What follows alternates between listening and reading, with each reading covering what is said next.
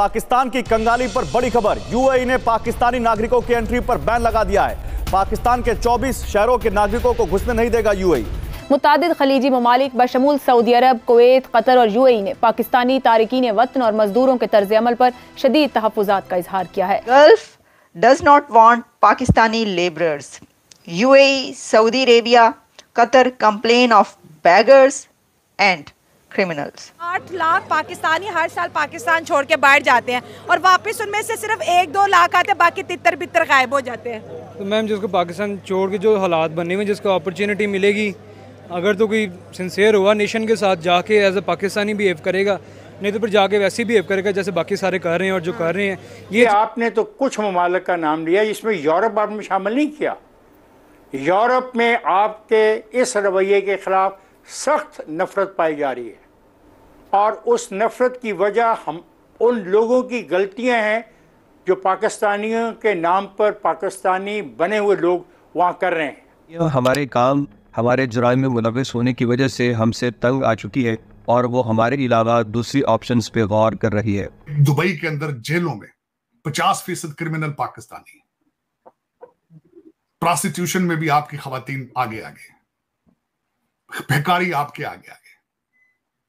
बल्कि Saudi Arabia ने भी रिक्वेस्ट कर दी है कि यहाँ पे ज़्यादा उम्र के लोगों को और भिकारियों को और इन लोगों को और जो टेक्निकल इनको यहाँ भेजना बंद करो।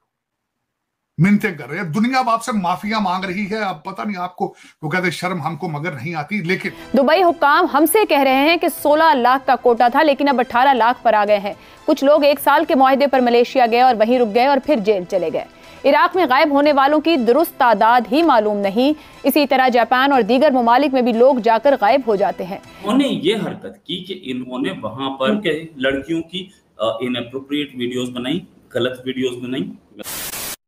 नमस्कार दोस्तों, जय हिंद। पाकिस्तान एक बार फिर दुनिया के सामने बेइज्जत हुआ। दुनिया भर के लोग, पाकिस्तानी से लोग परेशान हो गए हैं। एक रिपोर्ट के मुताबिक जो गल्फ कंट्री में क्राइम हो रहे हैं, रिपोर्ट के मुताबिक उसमें से 50 परसेंट लोग पाकिस्तानी होते हैं। इसका मतलब ये है कि अगर 10 क्राइम होते हैं गल्फ कंट्री में तो उसमें से पाँच क्राइम पाकिस्तानी करते हैं। इन्हीं सबको देखते हुए यूएई और सऊदी की सरकार ने पाकिस्तान की सरकार को धमकी दी है कि ऐसे सनकी और भीख मांगने वाले पाकिस्तानी यहाँ मत भेजो। ये रिपोर्ट देख पाक मीडिया तिलमिला उठा और बोल रहा है कि हम पाकिस्तानी इन सब काम में नंबर वन होते हैं। दुनिया भर में जाके हम अपनी बेजती कराते हैं। इससे पहले भी एक रिपोर्ट आई थी जिसमें बताया गया था कि सऊदी अरेबिया में जो 90 परसेंट भिखारी हैं, वो पाकिस्तान से आए हुए हैं। लिटरली 90 परसेंट भिखारी पाकिस्तान से ट्रेनिंग लेके सऊदी अरेबिया में भीख मांगने का धंधा खोल दिया था। और जो उनका सालाना कमाई था, वो देख के पूरी दुनिया हैरान हो गई थी। उनकी कमाई पाकिस्तान के डिफेंस बजट से भी दो गुना ज़्यादा था। इन्हीं सबको देखते हुए गल्फ कंट्री ने पाकिस्तान को वीज़ा देना कम कर दिया है। वीडियो शुरू करने से पहले अगर आपने हमारे चैनल को सब्सक्राइब नहीं किया है तो प्लीज़ हमारे चैनल को सब्सक्राइब कर लें। आइए हम पूरी वीडियो देखते हैं। दुनिया भर के शहरी रोज़गार, तालीम, बिज़नेस और सैर सयाहत के लिए दूसरे ममालिक में जाते हैं। बैरून मुल्क मुकीम शहरी न सिर्फ़ अपने मुल्क के सफीर होते हैं, बल्कि खतीर जर मुबादला भी कमाते हैं।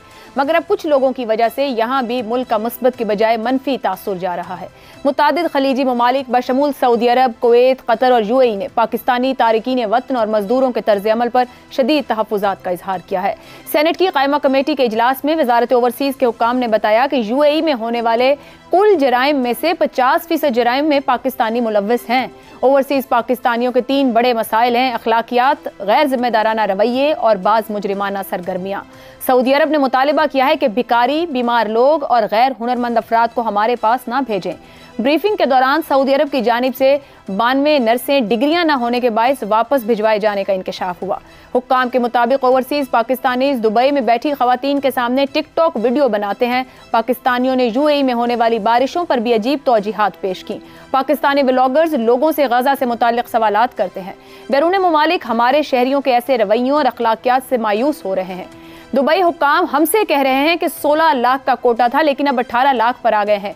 कुछ लोग एक साल के माहदे पर मलेशिया गए और वहीं रुक गए और फिर जेल चले गए। इराक में गायब होने वालों की दुरुस्त तादाद ही मालूम नहीं।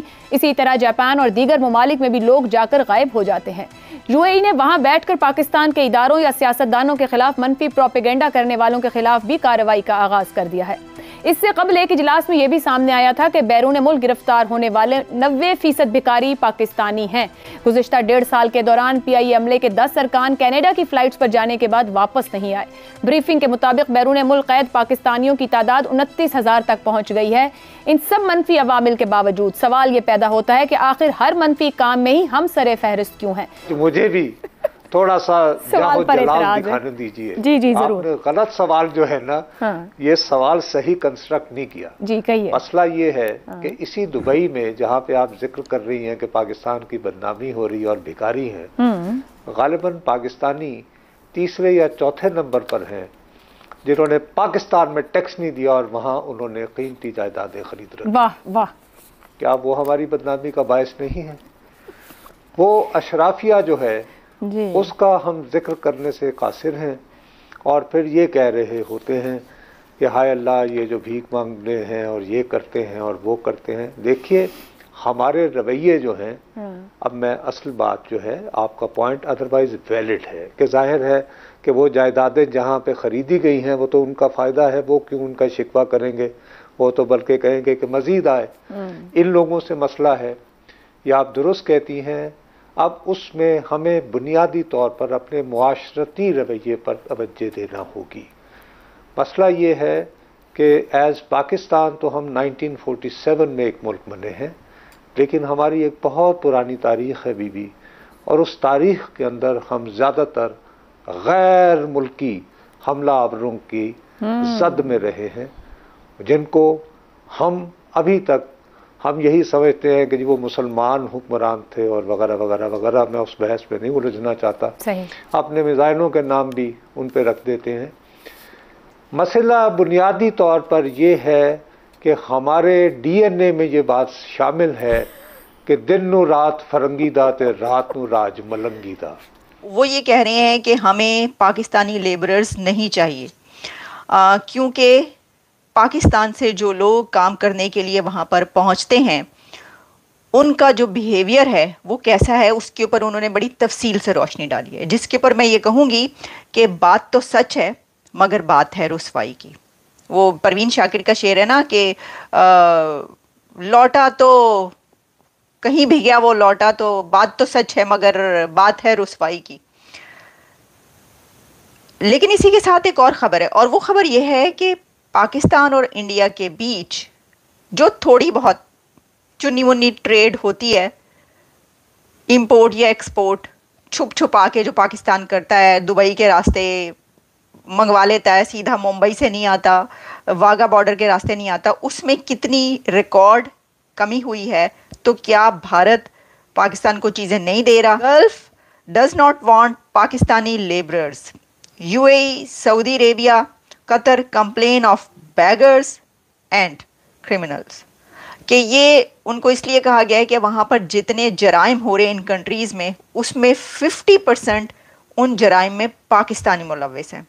पाकिस्तानी कर रहे हैं, वो जो भी जुर्म निकलता है, पता चलता है उसके अंदर पाकिस्तानियों का नाम है। लेकिन आप ये देखें कि जो कंप्लेन्स आ रही हैं, वो होता है ना कि छोटा बच्चा स्कूल में होता है तो जो टीचर्स होते हैं, वो उसकी कंप्लेन भेजते हैं माँ बाप को कि भाई, ये ताडा बच्चा जड़ा है बहुत शरारती हो गया, ऐ है, कर रहा है।